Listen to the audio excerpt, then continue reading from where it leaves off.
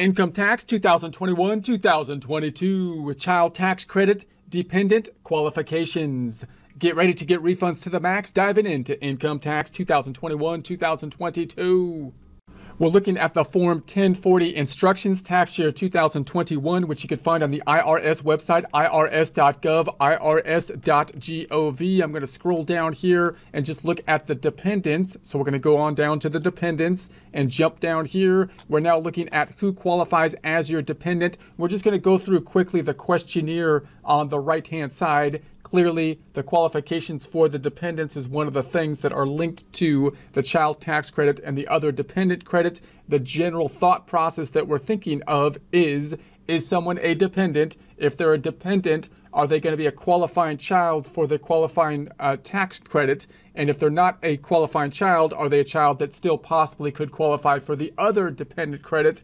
And if they're not a child, then are they an other dependent? And if so, possibly qualifying for the other dependent credit. That's the general thought process. So you can go through, I'm going to scroll in a bit here. You can go through the questionnaire and, and uh, follow this process. Usually it's fairly straightforward uh, as to whether someone is a dependent and whether they're going to be a qualifying child or not. But you've got those gray areas that could come up and when those happen, such as custody issues, for example, with regards to if someone is a dependent or not, then you can go to the instructions here on the Form 1040 and do more research diving into that situation. So, so we've got number one, do you have a qualifying child? A qualifying child is a child who is your son, daughter, stepchild, foster child, brother, sister, stepbrother, stepsister, half brother, half sister, or descendant of any of them. For example, your grandchild, niece, or nephew. And notice the and here as opposed as opposed to the or was. We have the age limit test, so we have the relationship. Now we have the age under age 19 at the end of 2021 and younger than you or your spouse if filing jointly. So we got the 19, the general age. Typically, they would be younger than you unless we had a, like an unusual kind of situation happening here. Under age 24 at the end of 2021, a student defined later and younger than you. So then we could push the age up to 24, but they'd have to be a student. So when you're looking at these age tests, we have different ages. We're talking about the age test basically to be, in this case, the uh, a qualifying child as opposed to whether or not they qualify for the child tax credit, which has a different kind of age requirements that will be involved here, which would be involved there. So you got to keep these age kind of requirements uh, separate in your mind.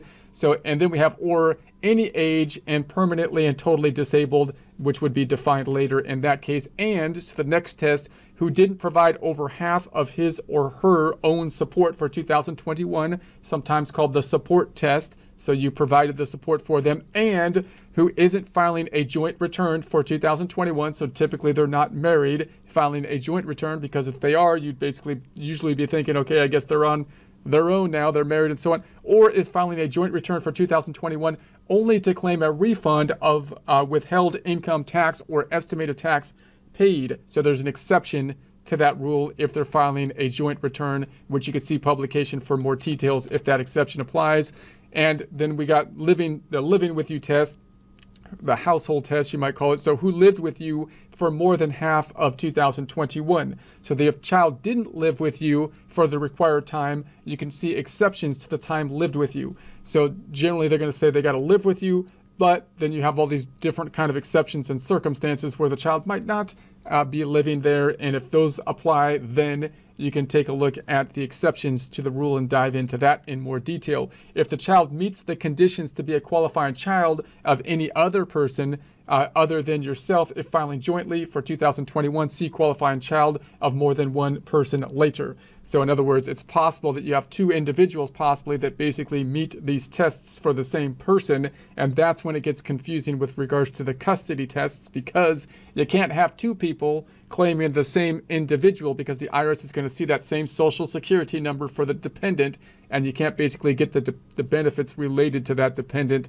on uh, two different returns. So you got to get into what's going to happen in that situation. So do you have a qualified do you have a child who meets the conditions to be your qualifying child? Now note we're talking about a qualifying child, not necessarily someone who meets the the the test to be to get the child tax credit at this point. They're a child with regards to the dependency. We're looking at the dependency, but if they meet that test, they're more likely to be able to qualify for the for the credit. So now they're a dependent if you met that test and they would be a child, but but then you have to think of whether or not they meet the requirements to be uh, qualifying for the child tax credit. So if yes, uh, go to step two. If no, go to step four. So we're going to go to step two, assuming that they're a qualifying child at this point. So is your is uh, your qualifying child your dependent? Number one, was the child a U.S. citizen, U.S. national, U.S. resident, or alien, or a resident of Canada or Mexico? So now we've got the uh, whether they're a citizen test. For more information, you can see publication 519. If the child was adopted, you could see the exception to citizen test later. So if yes, then we're going to continue because they would need to be in order for us to qualify. If no, you can't claim this child as a dependent. So they could be a qualifying child, but then they don't meet the citizen test. And so no, what uh, was the child married? So if if yes, see married person later. If no, we're going to continue because typically they would need to not be married in general unless they have some kind of exception in order to be qualified as a dependent. Could you uh, could you or your spouse, if filing jointly, be claimed as a dependent on someone else's 2021 return? See step one, two, and four. Uh, if yes, you can't claim any dependents. So generally, if you yourself could be claimed somewhere else, the general rule that would that you couldn't claim other dependents because you could be claimed as a dependent, meaning someone else is basically paying for your support uh, information there. So you complete the rest of Form 1040 or 1040 SR and any ap- applicable schedules. If no, you can claim this child as a dependent. Complete columns 1 through 3 of the dependent section on page 1 of Form 1040 or 1040 SR for this child. Then go to step 3 now, step three gets into what we're looking at, which is, which is the child tax credit. So now we've got a qualified a child that qualifies basically as a dependent. So we got the qualifying child that qualifies for a dependent. Do they qualify for the child tax credit then. So does your qualifying child qualify you for the child tax credit or credit for other dependent? So number one, did and obviously here we're trying to get the child tax credit first because that would be a lot larger than the other dependent credit. So did the child have an SSN, Social Security number, ITIN, or adoption taxpayer identification number, the ATIN, issued on or before the due date of your return, including extensions? Answer yes if you are applying for an ITIN or ATIN for the child on or before the due date of your return. If yes, you're going to continue because typically you need one. If no, you can't claim the child you can't claim the child tax credit or the credit for the other dependents. Number two, was the child a U.S. citizen, U.S. national, or U.S. resident alien? See publication 519 for the definition of U.S. national or U.S. resident alien. If the child was adopted, you can see the exception to citizen test later. If yes, we're going to continue on because typically they would need to be to claim the credit. If no, you can't claim the child tax credit or the credit for the other dependents for this child. And number three, was the child under age 18? We have another age test. Note this is different than the age te test as to whether they might qualify as a child with regards to being a dependent, which you'll recall was 19 or 24 if they're a student. Now we're talking about 18 to be able to qualify for the child tax credit as opposed to being over that age where you might be able then only to get the other dependent credit as opposed to the much larger child tax credit. So was the child under 18 at the end of 2021? If yes, you continue. If no, you can claim the, the credit for other dependents for this child. Check the quote credit for other dependents end quote box in column 4 of the dependents section on page 1 of form 1040. And then we're going to go to step four, is your qualifying relative your dependent? So now we're, we, we are skipping to the point where we said that they didn't qualify for a qualifying child. So now we're looking into whether they're, they're going to be a qualifying relative. So if they're, if they're not a child for our dependency tests, then they may still qualify for a dependent, but would then have to qualify as a qualifying relative. We then look at the benefits for that. We would not be looking at the child tax credit but we may still be able to get the other dependent credit, which of course would be much smaller, but still you know, applicable here. So a qualifying relative is a person who is your son, daughter, stepchild, foster child, or descendant of any of them. For example, your grandchild. And you might be saying, well, wait a second, if they're the son, daughter, aren't they a qualifying uh, child then? Well, they're going to be over the age test. So they didn't meet the age test for a qualifying child, but still possibly could qualify for a qualifying relative in that case. Or a brother, sister, half brother, half sister, or a son or daughter of any of them. For example, your niece or nephew, or father, mother, or an ancestor or sibling of other of them. For example, your grandmother, grandfather, aunt, and uncle, stepbrother, or stepbrother, step sister, stepfather, stepmother, son in law, daughter in law, father in law, mother in law, brother in law, or sister in law, or any other person other than your spouse who lived with you all year as a member of your household if your relationship didn't violate local law.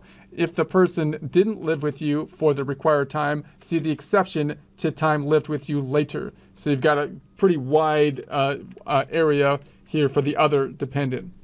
There's going to be a lot more restriction with regards to the income tests. However, uh, who was so and who wasn't a qualifying child. So obviously, if they were a qualifying child, then they would qualify as a qualifying child, and we would never have moved to this step. We would then move on from qualifying child in that fork in the road. But we said they didn't qualify for a qualifying child. That's why we're here. So if they were, you go to step one. If any taxpayer for 2021, for this uh, purpose, a person isn't a taxpayer if he or she isn't required to file a U.S. income tax return and either doesn't file such a return or files only to get a refund of withheld income tax or estimated tax. See publication 501 for details and examples.